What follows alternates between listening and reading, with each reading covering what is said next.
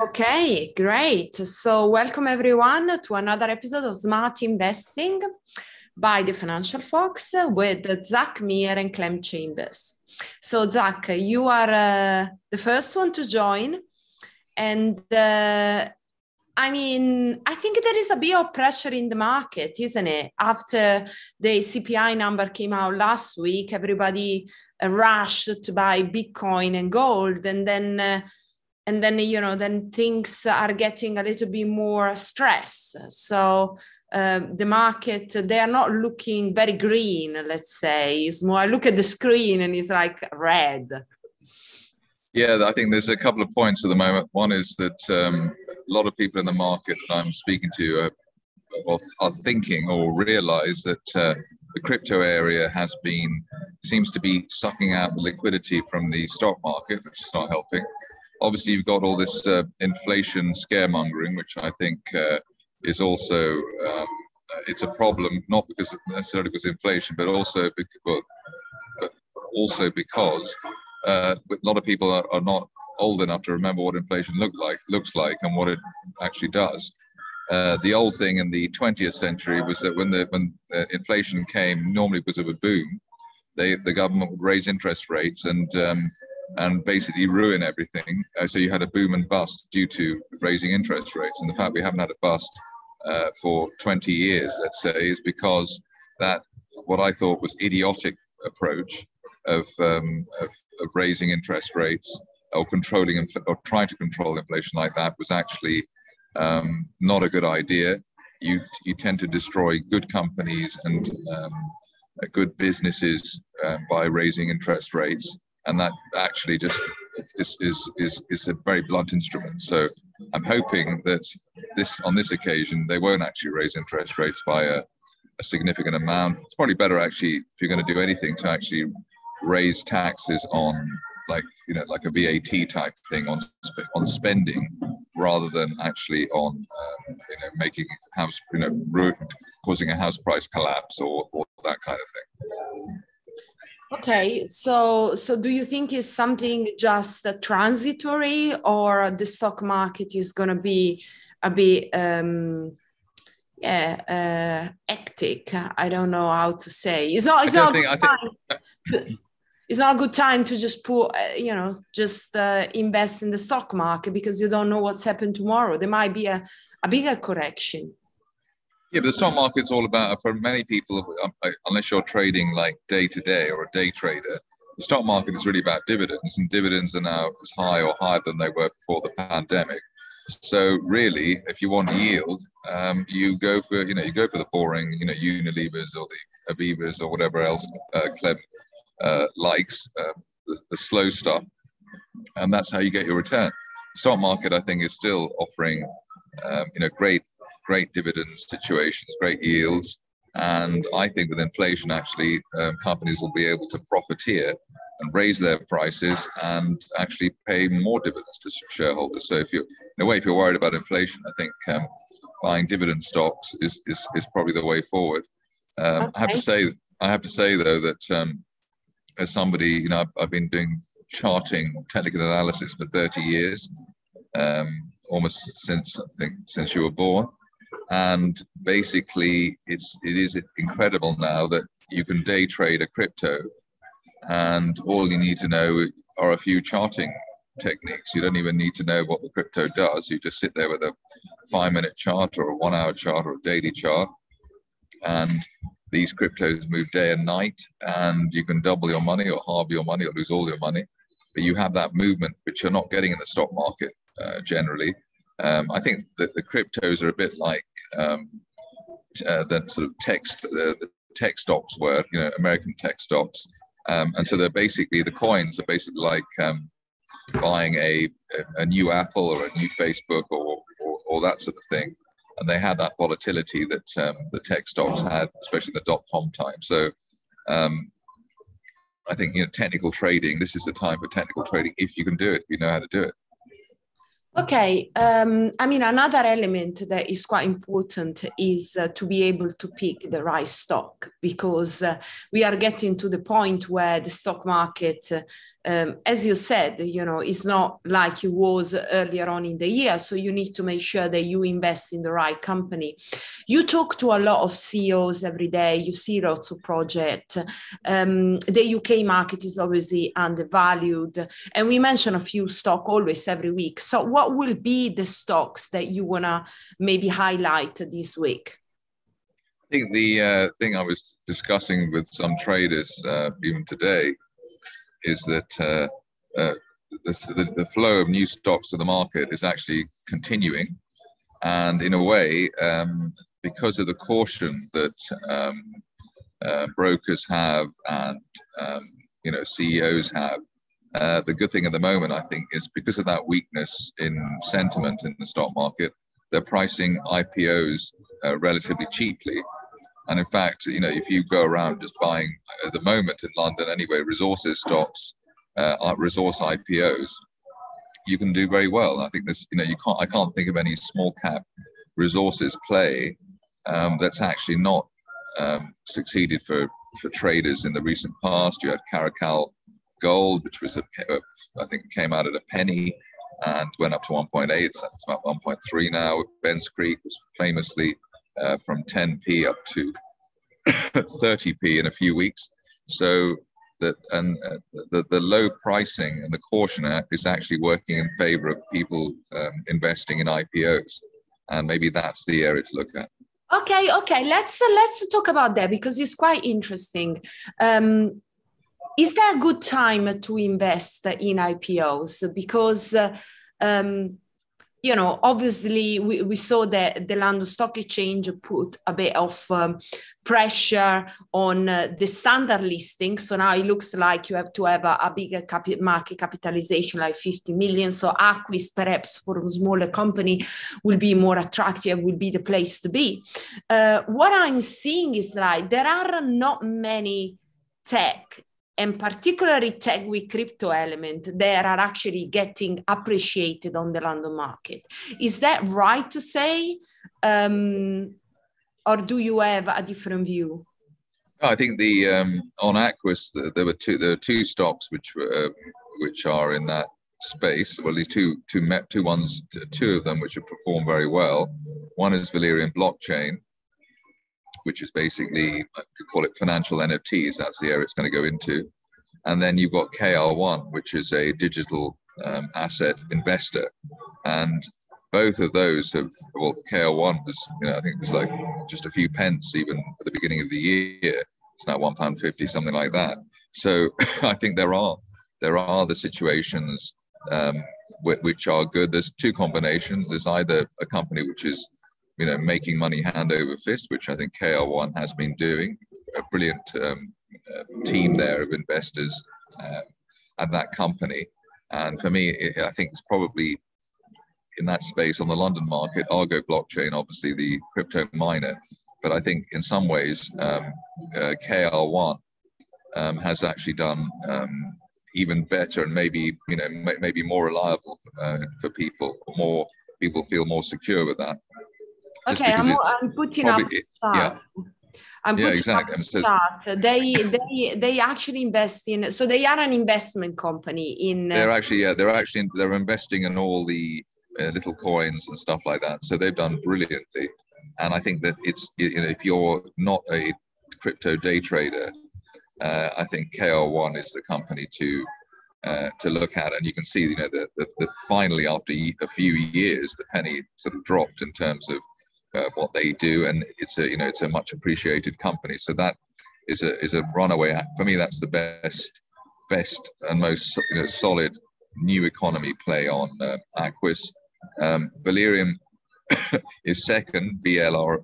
That's the um, uh, the uh, financial NFTs, and um, they're still you know they're still sort of moving along the line there. But you can see that uh, that's been a, an incredible uh, success this year. Okay, announced... can I can I stop stop you here because I'm not familiar with this company, and obviously the NFT space has been hit by lots of hype, and um, from uh, from my crypto experience, I, I, I think that it's very important that NFTs company they start to develop a very strong use case.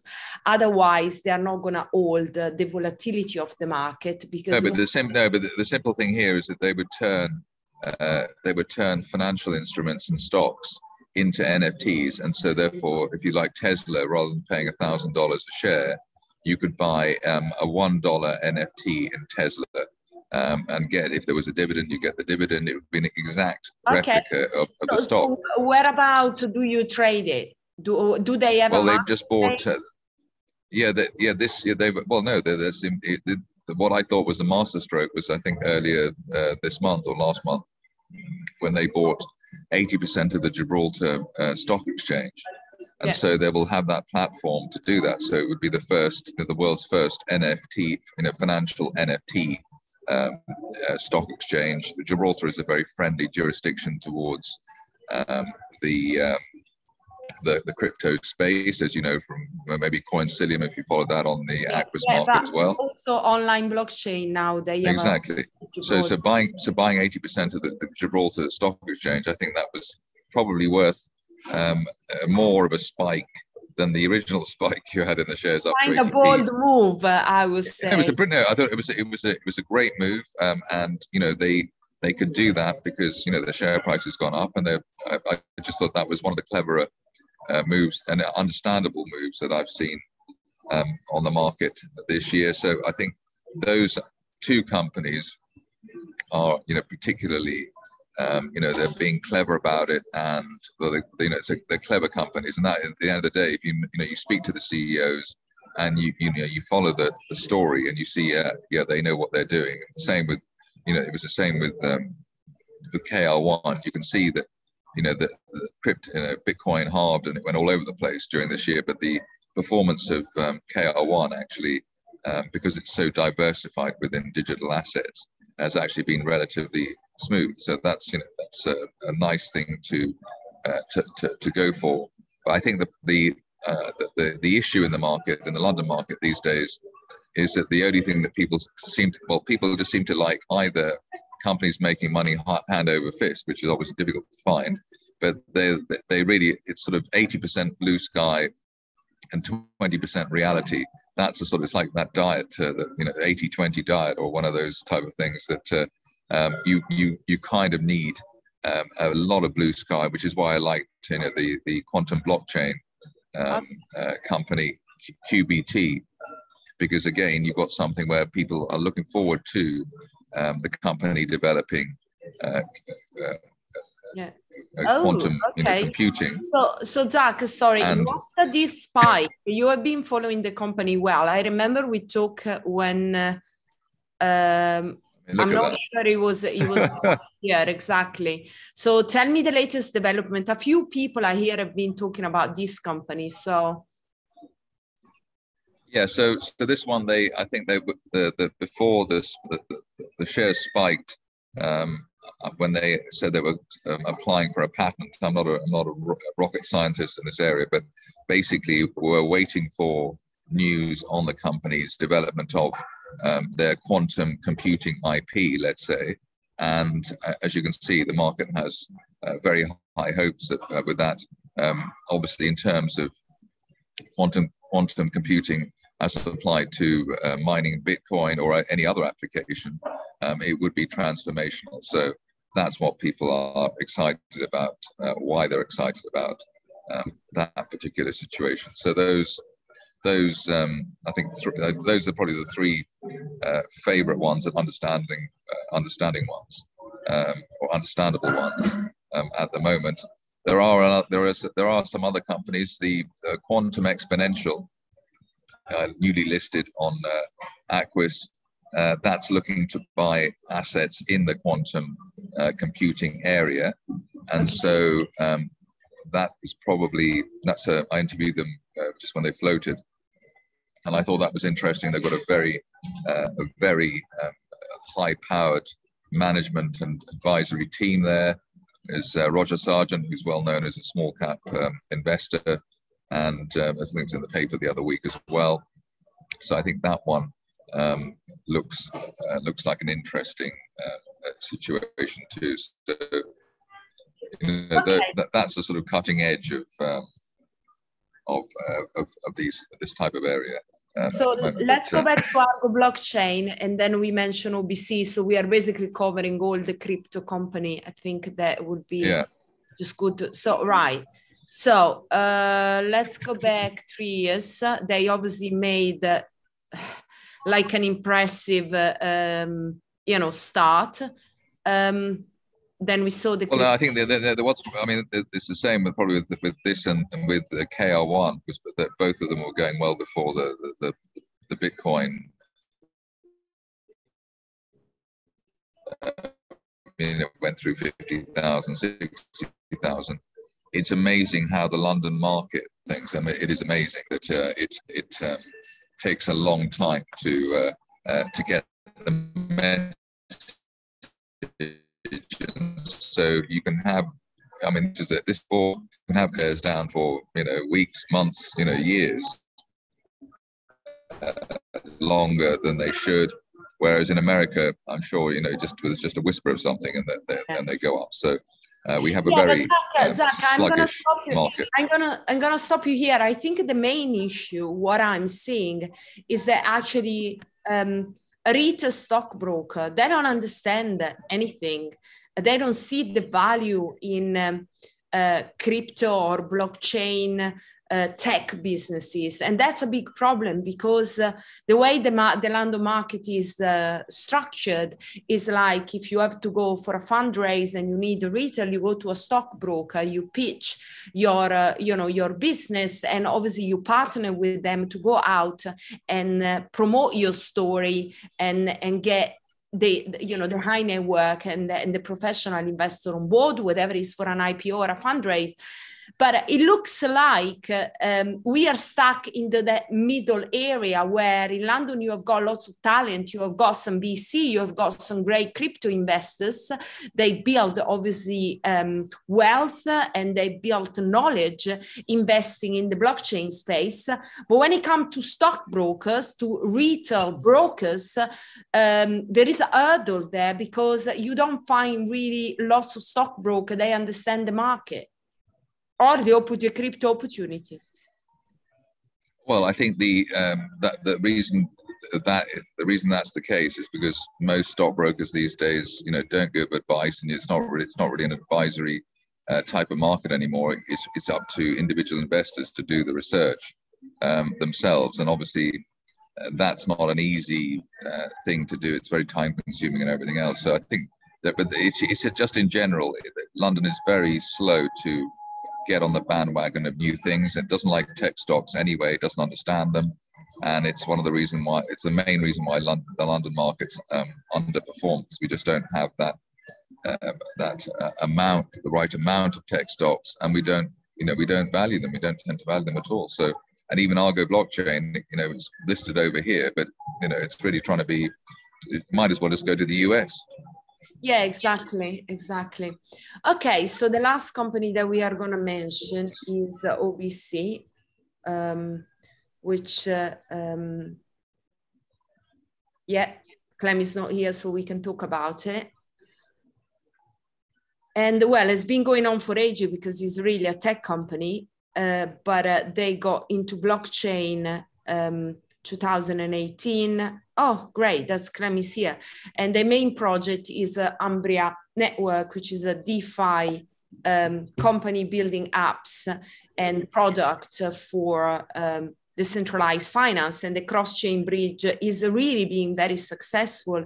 We are announcing like every every week we are announcing a partnership. So I have to log off now, aren't I? You're going to breach all my social media policies.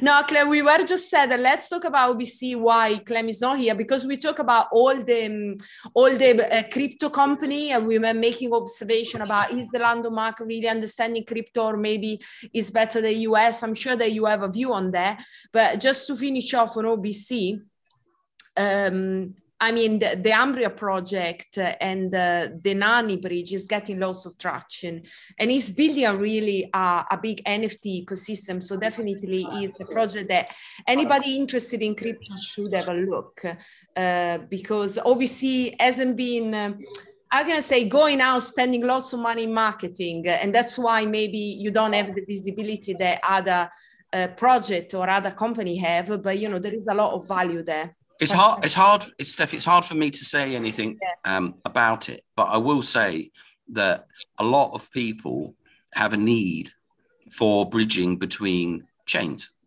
and we fulfill that need, and we fulfill it at a significantly lower cost to the alternatives, and we do it at a significantly faster speed, so that they get their stuff bridged significantly faster than other people because we got some pretty um, exciting uh, and funky technology, which no one else has, which yeah. is kind of cool and groovy and all that. And that's in in the um, that's out there in the public domain, so I can say that.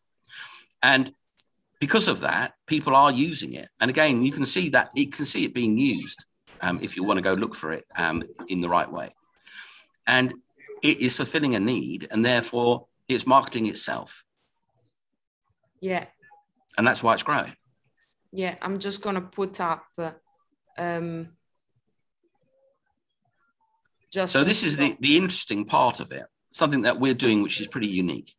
Now, if you go to other people's bridges, and a lot of people doing bridges, and they go, come to our bridge and you know pay, pay some money and bridge your stuff over.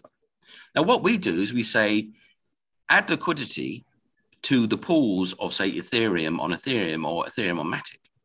And when people transfer from one chain to the next, you will get fees for your liquidity. Because what you're effectively doing is acting in, in a very abstract way, like a bank. So back in the old days, say the Count of Monte Cristo, if you know that story, he has a fabulous fortune and he finds it and he brings it back.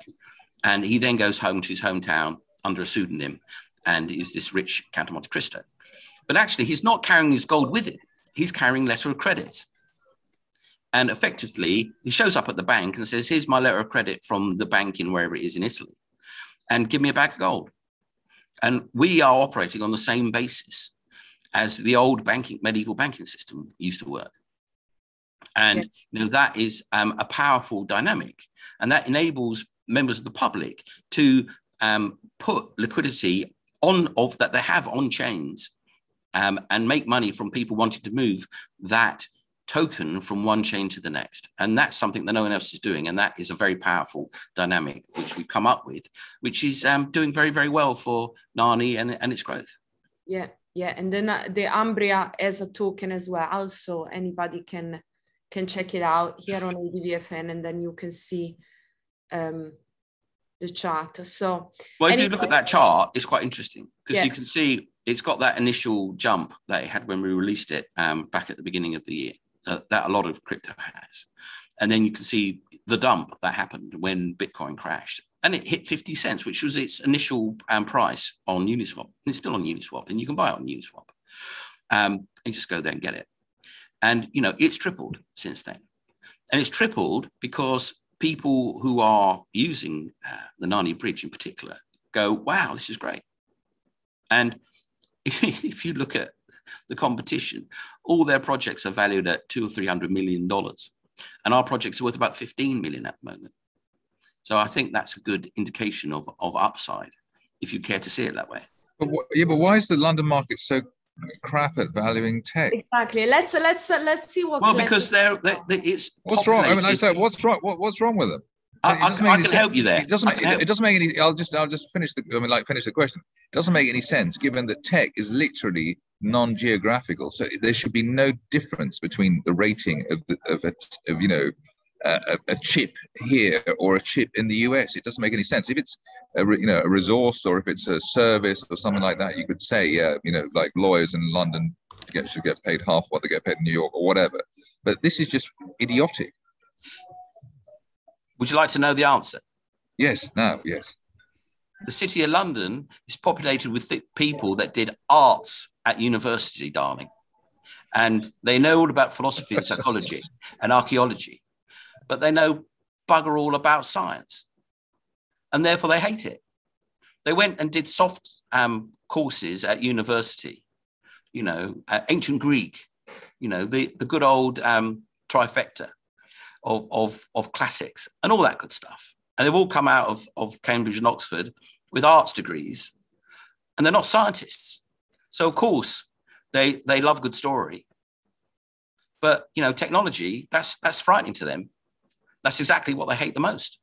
If they so would, love science, they would have gone done mathematics at Oxford, or they would have gone done chemistry or physics, or any, any of those things that are changing the world. No, instead, they studied Kierkegaard. Yeah, and a, a load of philosophy from 200 years ago that's about as obsolete as, as a dead thing. And, and then they come into the city of London because they're all, all out of those universities, old boy. And then they go and they take the summer off, old chap, go Wimbledon, etc. You know the sort. Of course, they don't like technology. They want to go back to their country homes and, no, and have the, strawberries and cream. Yeah, but yeah, but isn't it the case that if you had an American, let's say American tech back, or what what they should be doing is just buying all the UK tech and then selling it on in the US. They want to go to Wimbledon. They want to they want to paint the pergola. They want to go back to their their their grandpa's mansion in the in the country. They want to they want they're, they're, they're not they're not in that zone. They're public school boys with silver spoons in their mouths. Technology, that's for the developing countries, you know, that's for the oiks. You must have met a million of these people. Yeah, yeah, some some very very close to home actually. So, yes, uh, yeah, a, a million um, of these people, and you know what? You know, if you look at a certain fund manager who went belly up last year, yeah, and he was talking about how clever they were until they went horribly bust and lost people hundreds of millions. He had a suntan that looked like he'd spent the whole year in the desert because he sat in his garden the whole year. And then his fund went belly up. Funny that. Yeah. I mean, that's the attitude of the UK. You know, the City of London doesn't want to open at eight o'clock anymore. Oh, we want to get our work life um, balance properly done. But so yeah, but is there any opportunity in that in with, with that le- le- um, lethargy and that uh, ignorance? Is there any opportunity for an investor? It's it, well, long-term investors for sure, right? Because everything, so much is badly valued. Well, it, in extremis, if we want to go there, you just buy companies that are going to get taken out by American companies because it's bargain basement Britain. I eh, mean, why isn't why isn't ARM on the London Stock Exchange anymore? Because it got snapped up for bugger all. The, the most powerful chip manufacturer, the smartest chip manufacturer, powering the iPhone and every single blooming mobile phone in, on planet Earth, and some Japanese company comes along and snaps it up for, for chump change. And then everyone goes, oh no, oh no, don't do that. Oh, don't buy our technology. It's the only thing we got left. You know, it's pathetic. And you know what? You can't blame the troops. You blame the, the, the officers. And they're all public school boys who studied arts. You know? what about, and you wonder why we're not a scientific country anymore. What, what about uh, perhaps uh, listing on the on the US market and keep a, a, listing on the UK market, that might be a way or something that perhaps company in the UK could look at. Would that help to drive more interest from uh, uh, international investors? If you look at the way that the world works, people aren't very good at running listings outside of the country they're in because they don't understand the dynamics of the markets um, that operate in those countries. I mean, when American companies come and list on the AIM market, you know, poor people, what what were they thinking, right? Yeah. And so it's very hard. It's the same with corporations. They find it very difficult to be international when you think how, you know, absolutely competition crushing someone like Google is. Yeah. Well, where are they? Any, anywhere outside English speaking countries? Nowhere. Right. Because once you have that language barrier, all the magic just goes away. And it's the same with distance, right? If if you try to do a, a, deal with an American company, don't try to do it in your country. You'll get nothing. You have to go to the headquarters in wherever it is, you know, Ohio or in Silicon Valley, and talk to them there. Then you can get stuff done. The moment you go away from the tree, you don't. The fruit isn't there. The fruit falls by the tree, and that is a problem with trying to solve um, business problems by shifting geography. You you just end up, you know, in, in, a, in a vacuum. You know, listing on the London on the New York Stock Exchange, yeah, you're going to get a 10 times multiple for some businesses. But you're also going to find it very, very, very, very difficult. And if you look at the ADRs on the American market, uh, a Vodafone, for example, won't be valued like a Verizon as an ADR in the American market. So the, the you know once you once you get away from your culture, it's very very difficult to um, you know achieve. So what you gain in in leverage from a great market, you lose in in the fact that you don't understand the cultural ways of things there. Yeah, that's a point. That's a really big point. Okay. I mean, you can't just move, right? You can't just up sticks and go. And and some companies have done that and done it extremely well by doing that. But you absolutely have to up sticks and go. You cannot stay. Um, you know, you, you you can't expect to be a, a incredibly successful company in one country and be um, you know, in, incredibly um, successful stock listed in another. I, I, don't know anyone that's done that. I do know people that have actually shifted the whole, gone, oh, forget it, I'm not going to be in the UK, I'm off. And people do that all the time, right? Silicon Valley is full of uh, rich English people that went, what am I doing in the UK? You've got to be crazy, I'm going.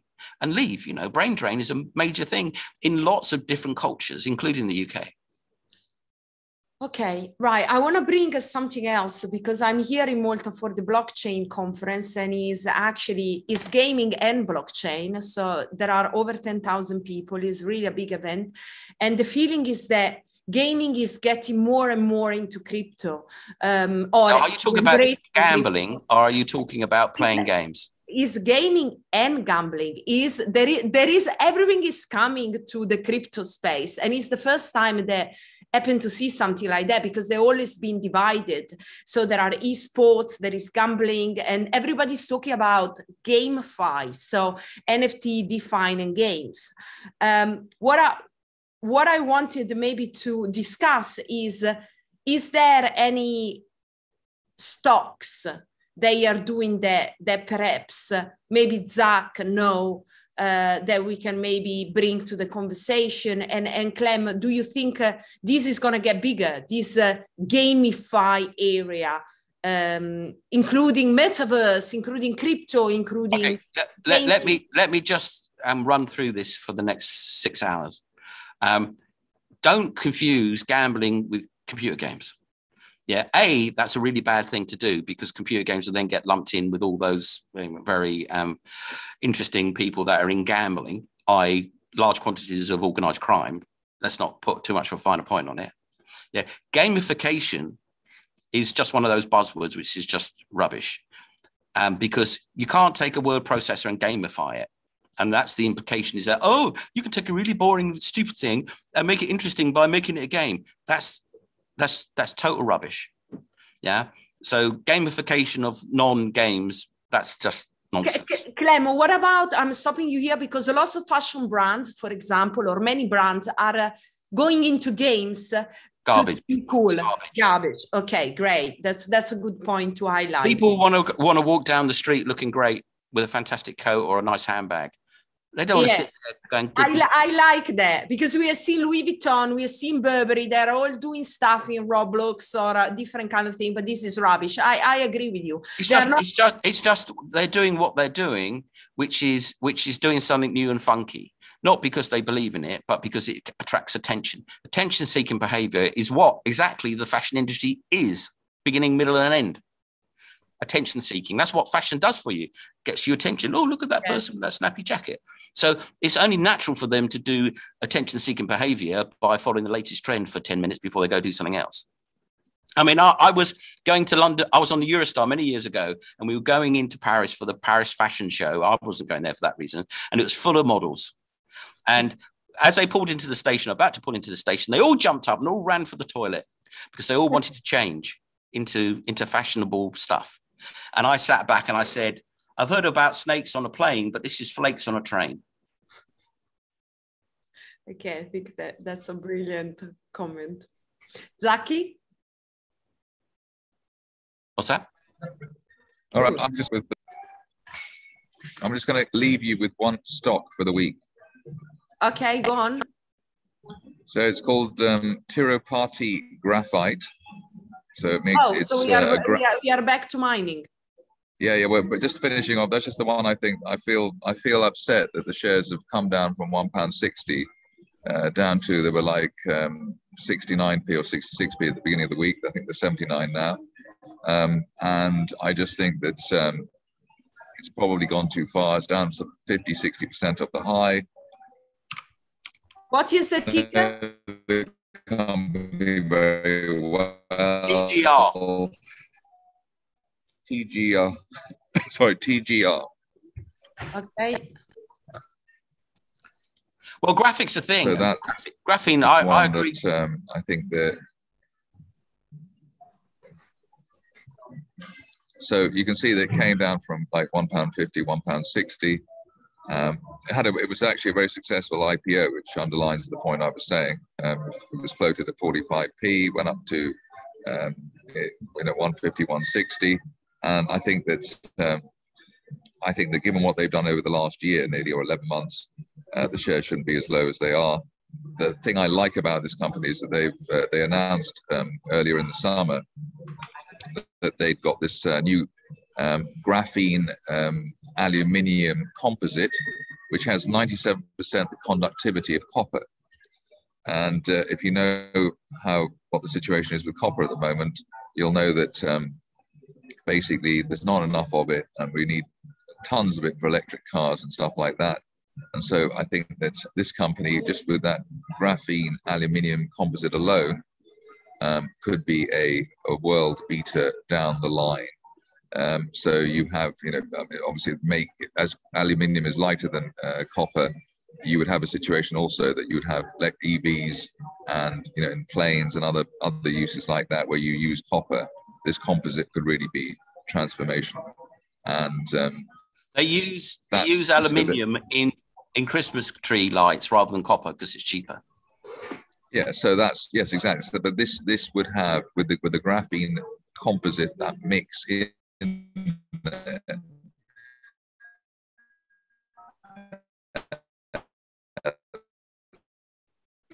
You're you're you're cutting out, Zak. I think the satellite's going behind the um, cloud.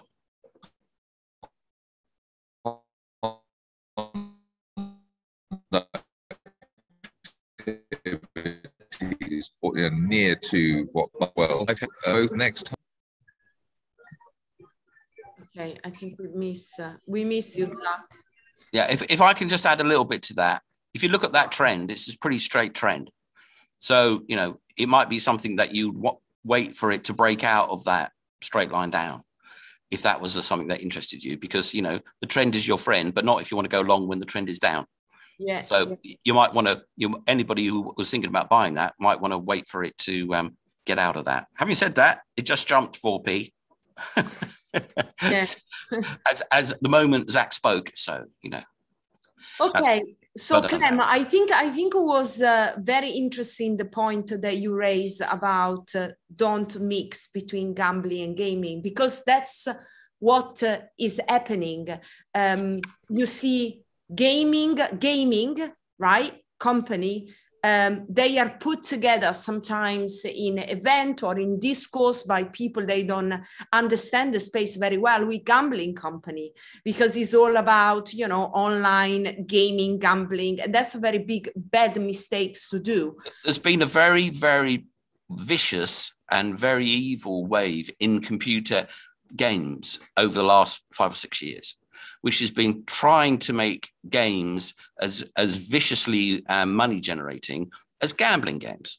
So you have um, things like um, Farmville, um, trying to you know take 20 bucks an hour out of players and and actually being built using uh, psychological war techniques actually um, brainwashing techniques to try to addict players into repetitive obsessive behavior at great cost and that they design these games to have no limit on how much money you can spend have no limit on how much um, money you can you can waste. I mean, tens of thousands of dollars. These games are t- to, designed to take out people that are vulnerable, and which is to me the kind of heart of darkness, uh, and and that's been a sort of you know evil push in the computer game industry, particularly on mobile, towards the depravity of the casino.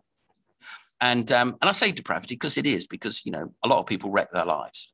And if you go in America, for example, and you look at all the fraud cases, white collar fraud, a, a huge number of those white collar fraudsters are basically addicted gamblers. So they steal money to go to Vegas to to um, lose it at the tables. So it's a very, very it's it's a social ill gambling, um, or can be. You can have responsible gambling, and people try hard to do that and all that stuff, but doesn't take gambling companies long to leave that path and get into the into the realm of trying to rip people's face off when they go in to try to do a little bit of gambling. You only have to see these uh, high stake fruit machines and what they do and how they do it to see the the dark path that um, gaming, uh, i.e., gambling, takes pretty quickly. And you only have to understand operant conditioning. Operant conditioning. Anybody who wants to look that up on Wiki will see it. Uh, which is these techniques, which are basically animal training techniques. They put them into these gambling games or these games that are not gambling because you can't win, but you can spend huge amounts of money. These brainwashing, operant conditioning um, techniques. They put them in these games to to to hurt you. I mean, it's about parting you with your money for very little. That's that's hurting you. Yeah. So I think you know that whole side of things needs to be seen for what it is, which is a very toxic, very evil, very nasty side to things. Which of course casinos have always lived in that space, and any any companies in the computer games business that head towards that, you know, better better hope there's no afterlife because they're going to burn in hell.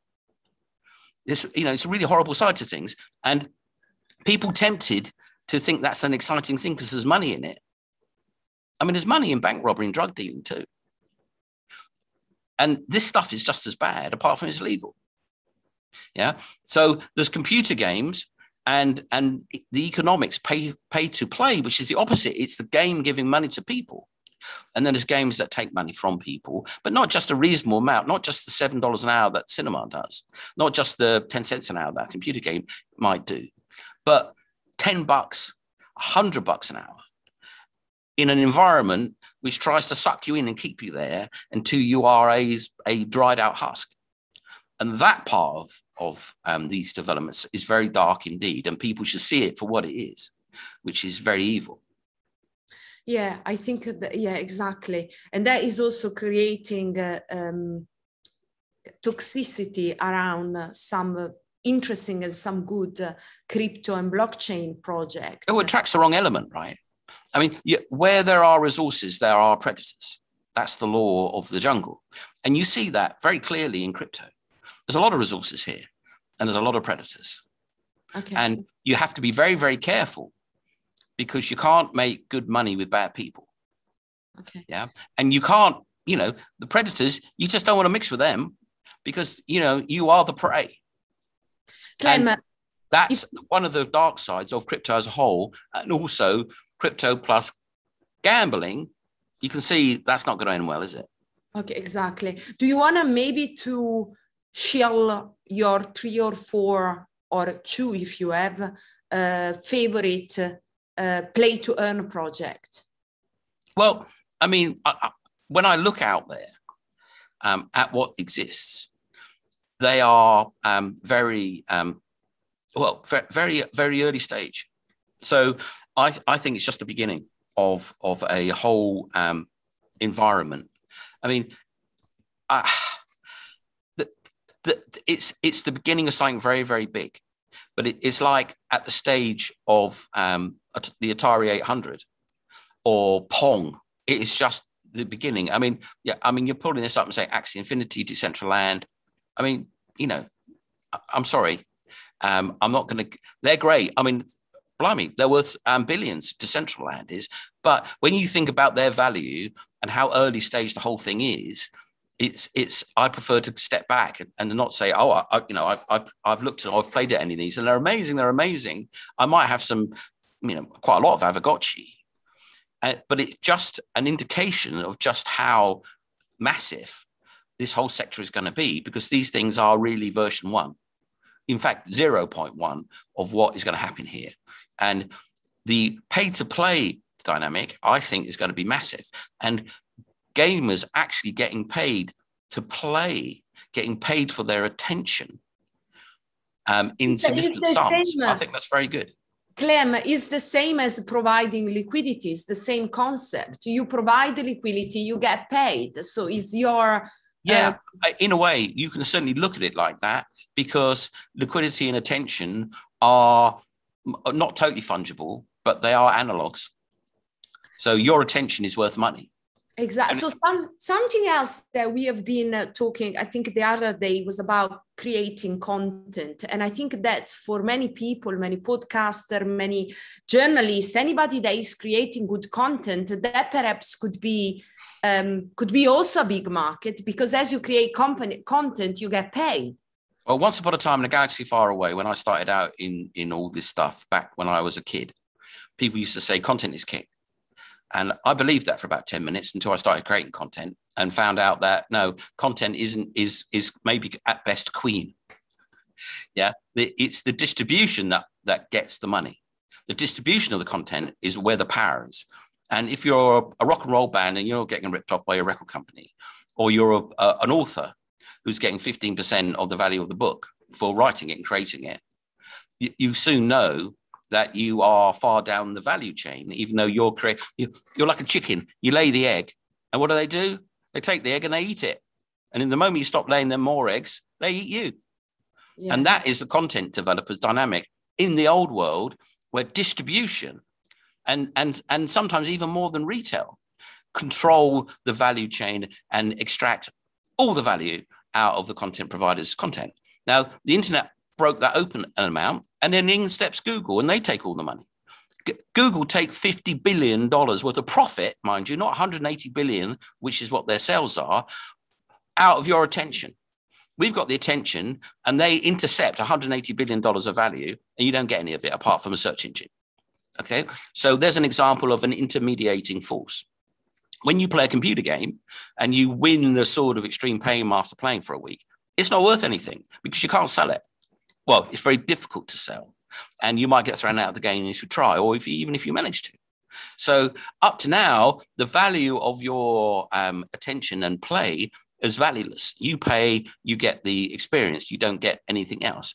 With the pay to play, your attention, you are the content, and you get paid because you are the content. You go in and play the game, and if you play it badly or or you don't kill many bunnies and don't find many magic swords, you don't make much money. But if you're good at the game and and you can earn a lot of money because you do win the sword of extreme pain, and somebody wants to buy that off you because he doesn't want to play for 20 hours to slay that dragon with the sword that he needs. So he comes to you and you go off and, and you buy it and sell it as an NFT. And he comes in with the sword of extreme pain and he cuts out 20, hour, 20 hours of his attention and he's paid to not be the content for 20 hours. Yeah. And that again, crypto does this thing is it inverts the pyramid of power. So money flow, flows to the many from the few, rather from the from the uh, flows from the few to the many, rather from the many to the few. Yeah, money f- flows uphill in the old system, and the poop flows down. As we all know, we live in that world. Crypto turns it upside down. So the poo goes to the goes to the powerful, and the resources go to the many. And that is the true underlying revolutionary dynamic of crypto. And if the people in power work that one out, they really will try to stamp it out quick. Yeah, that comes back to all the um, argument about regulation and uh, and uh, also the future of banks. Uh, but let's uh, let's maybe not get into that. Let's go back to the financial market, which is something that I started discussing with Zak. Um, we have seen some kind of uh, very stress uh, um, stressful uh, days after the CPI number, which uh, obviously they got gold to go up, Bitcoin went up, and then there was lots of volatility and kind of like panic.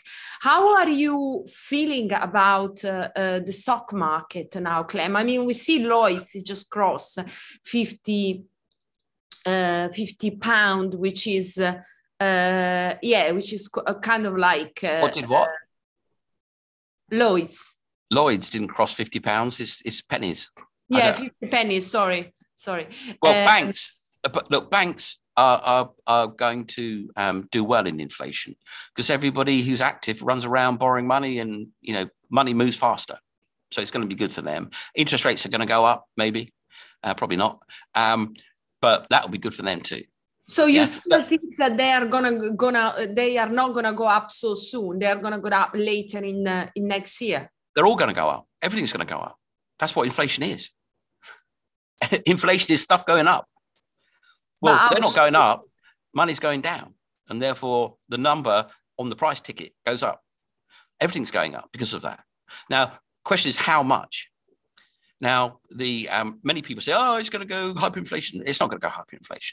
We're going to get somewhere between fifty and one hundred percent inflation in the next three to five years. So, if something's fifty p now, it's going to be a pound. Uh, so it's a pound now. It's going to be two pound. The value won't change. It's very, very simple. Look, you, if you look up the world for however long they looked up the world, the world gets poorer.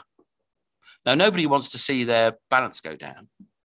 They don't. They want to feel like they're not got any poorer, and they've got debts, and the government's got massive debts because they bailed everything out, right? So they've got to fill that hole. The only way to fill that hole is to rebalance everything. The only way to rebalance everything is to inflate away everything so that the flow of the change of numbers gets everything flat. But everyone's going to have to be 10 or 15% poorer. Or certainly anybody that doesn't see it coming is going to be 10 or 15% poorer because the world is 10 or 15% poorer. Now, some people are going to get 50% poorer. And if you're really, really fast on your feet, you're going to get 20 or 30% richer. Yeah.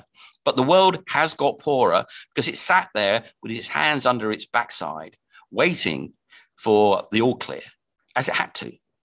But it wasn't making stuff, was it? It wasn't digging holes. It wasn't manufacturing cars. It wasn't making wealth. And when you total up all the wealth, all the stuff that wasn't made, that's a lot of money. And that's a loss. And that loss has to be evened out. And the best way to do that is through inflation. And they can't not do it by inflation anyway, because they can't do austerity. I mean, how long are they going to last if they try that one on? Uh, they can't do it by doing cuts, can they? How long are they going to last if they try to do that one? They can't fire all the people in the in the public sector now, can they? Uh, how that how's that going to work? They're not going to cut their own pensions, are they? So the only way to do that is to have inflation. So they've already baked that into the system. They're going to have to keep doing it because they've got these budget deficits that mean that their deficits are only going to get larger. And the only way you can default on that is to inflate it. So inflation is baked in. And the, the, the road of inflation is set. How long that takes to get the economies back to an 80 to 90% debt to GDP we don't know. I mean, there could be another COVID. We could. They're locking them down in, in Austria, right? They're locking down people yeah. in Holland. If that repeats and repeats, I mean, that could be just forever thing. It could. It, it could get a lot worse. So the could be three or four hundred percent inflation. But the stock market is going to keep going up to catch up with inflation, basically. Well, it's it's got a tailwind with inflation, and certain things won't do so well. Well, maybe, where you can't find the liquidity because raising money is going to be an issue. Well, there's no shortage of liquidity. That's the whole point. The, the liquidity is coming out of our ears. The fact is, people won't borrow it. They won't take the liquidity. Oh, give us that liquidity. We'll have that. They won't do that. They, they, they don't want to do that. They don't want to borrow the money. If you were going to the bank and say, give me 50 grand, they'll say, yeah, here it is, bang. Yeah, they're begging people to borrow money. Yeah. And at some point, people are going to go, there's inflation, big inflation, and I can borrow money at 3% or 5%, and there's a 9% inflation. That means I'm getting paid to take the money. I think I've had some of that. That's what we do with, with mortgages, right? With houses. I'll borrow up to my gunnels to buy a property because I can. And then the property will go up and my and my mortgage in real terms will go down. Oh, I'll have some of that. So that is the sort of environment we're going to be in. The question is, how much inflation are we going to get to the governments get back to that natural balance of between 80 and 90 debt to GDP? And you know, if it's, I think it's 50, between 50 and 100 percent and it's between three to five years. So they're going to have that run. Now, some things will not keep up with inflation. Housing might not keep up with inflation. Certain stocks might not keep up with inflation. Some stocks will outperform. Commodities will obviously, well, would from historic history outperform inflation because everybody starts to panic. Yeah, so that goes up more.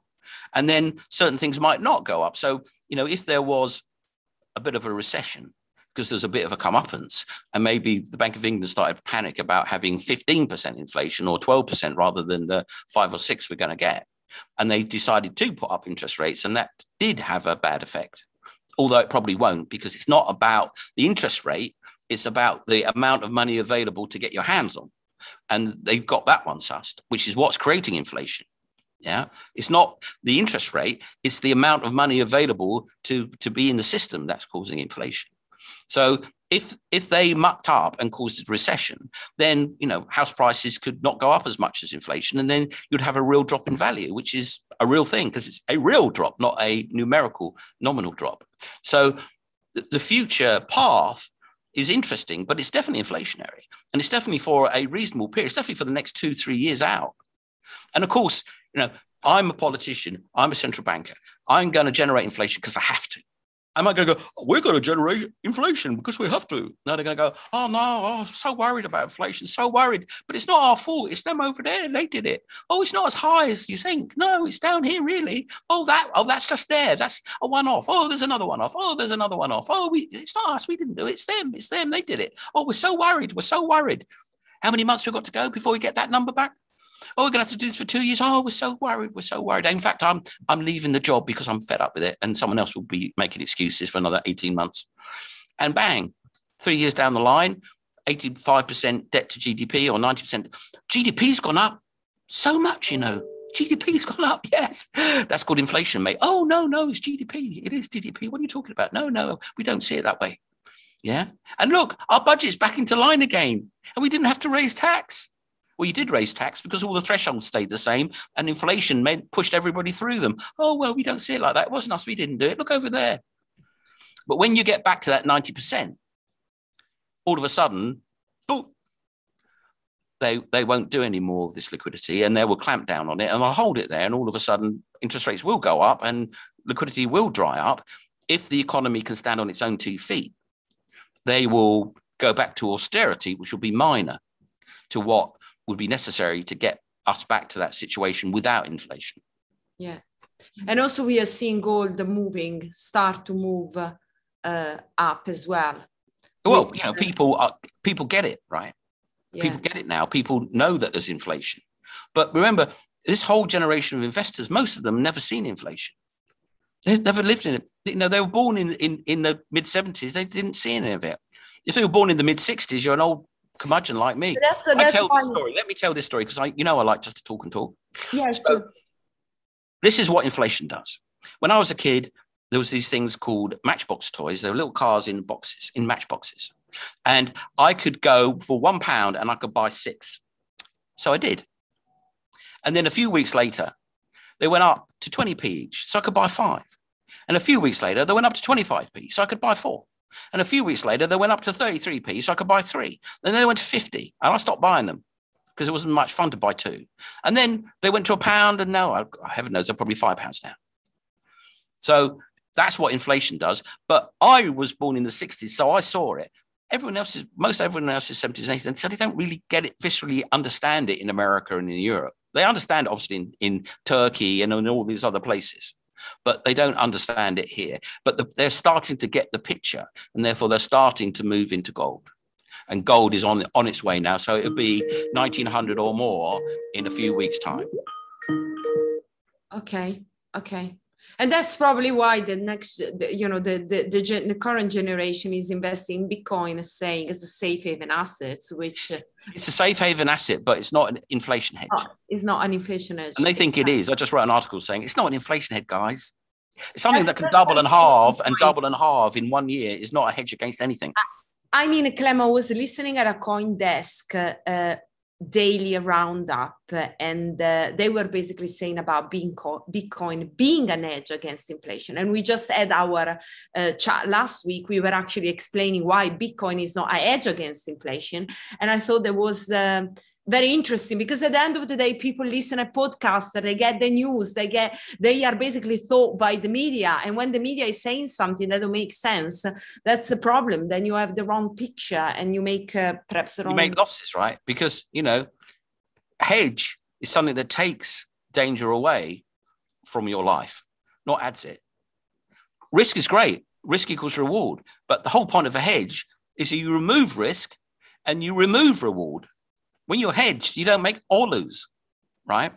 So buying something that explodes and collapses is no hedge to anything. I mean, if you were totally, totally a quant and you could sit down with a spreadsheet with calculus in it, you could use Bitcoin as part of a very complicated diversified portfolio strategy to hedge against inflation.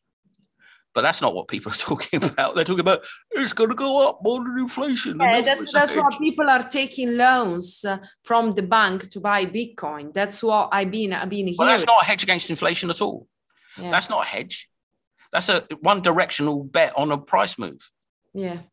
Now, if you bought um, something that if you if you took out a loan to buy, in fact, there's you, someone needs to do a crypto, which is a hedge against inflation, which you could do that. But you know, to hedge against inflation, you need something that doesn't lose its intrinsic value. Well, unfortunately, Bitcoin doesn't have an old-fashioned intrinsic value. So it, it's just it's not what the word hedge means. It's like if it looks like a duck and it walks like a duck and it quacks like a duck, it's a duck, right? If it doesn't act like a hedge, it doesn't look like a hedge, and it doesn't behave like a hedge, it ain't a hedge. Yeah. Yeah. And Bitcoin don't look like a hedge, doesn't act like a hedge. It ain't no hedge. It's a wonderful thing, but a hedge it ain't. I don't know what it's a hedge against. I mean, I don't know what you would say it's counter correlated against, because that's what a hedge needs to be. When it something goes up, it goes down, and when it goes down, the thing goes up. Or when it goes up, the other thing goes down. That's what a hedge is. Yeah.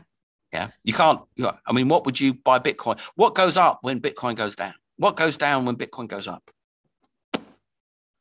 Well, I think everybody got a little bit confused last year when there was the crash and actually Bitcoin and gold went up together. So that's where maybe the narrative started to, to be built. Uh, yeah, that's because it's a haven asset.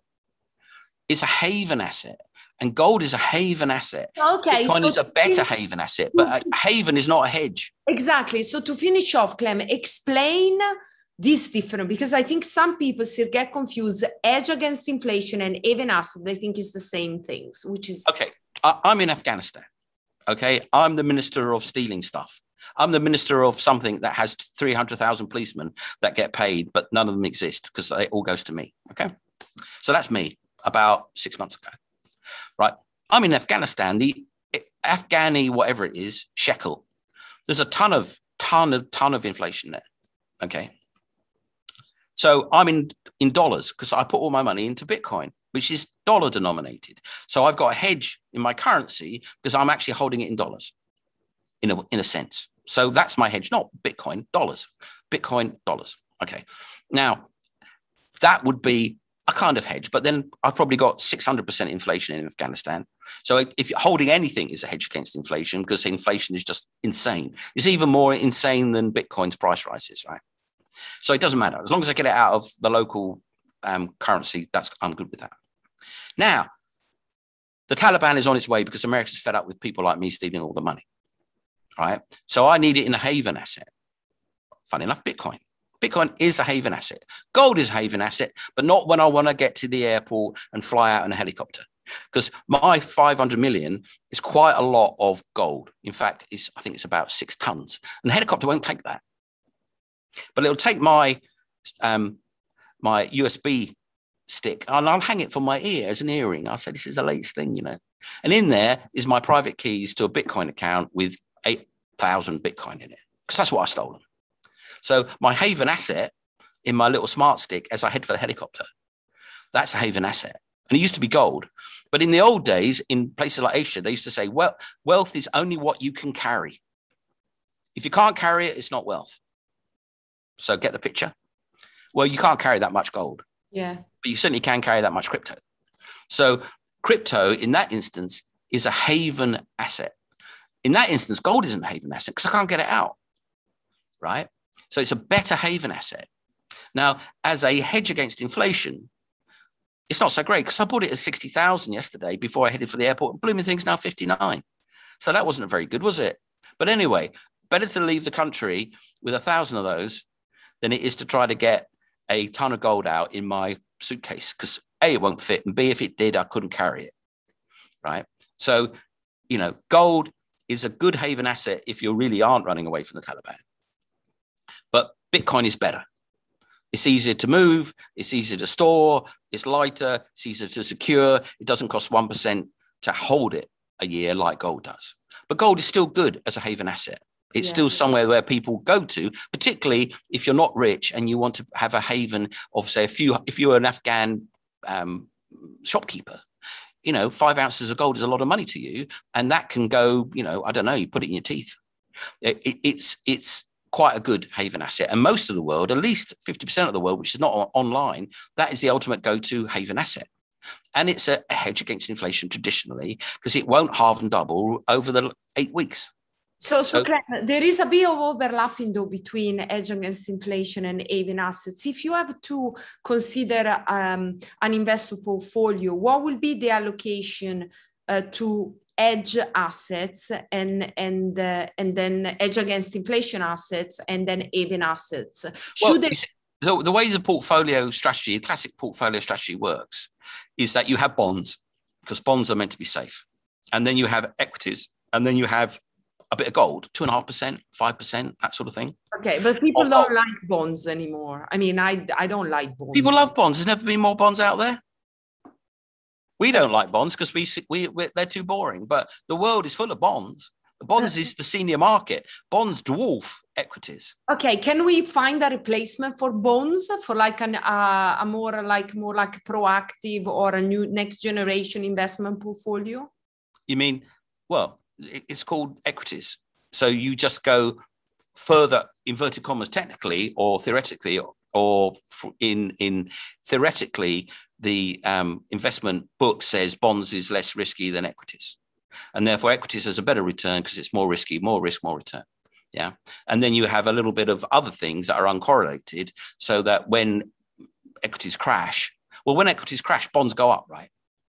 So there's your hedge yeah. And then you have a little bit of other crazy stuff, which add perhaps a little bit more risk, so a little bit more return, and hopefully do not go anywhere when equities go down or up or down. So when bonds go up, they don't move. And when equities go up, they don't move. They move under their own time.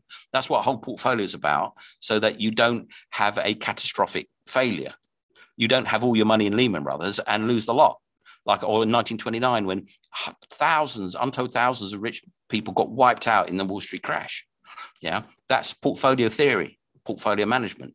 Yeah, so bonds because it's the ultimate liquid market. I mean, that's what the government rescued is bonds.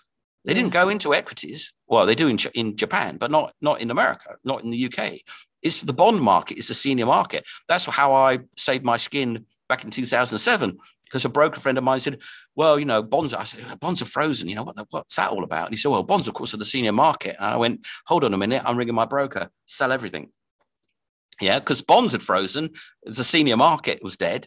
Well, the junior market is going to catch it in the back of the neck pretty soon after, isn't it? And and it did. Unfortunately, I was not under that piano when it fell out the window.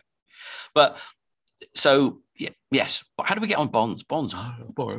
exactly, well, because we were thinking about uh, like a uh, uh, latest generation portfolio that doesn't have bonds. So what else would you put? Okay, we have got equity, right? Uh, so would you put maybe gold? Well, equity? if you're watching this show, then you are pretty active. Bonds is for people that aren't. Exactly. So let's talk to the active people. Well, you know, you got to be you got to be a stock picker. You got to yeah. you got to be looking at. That's, that's a good point.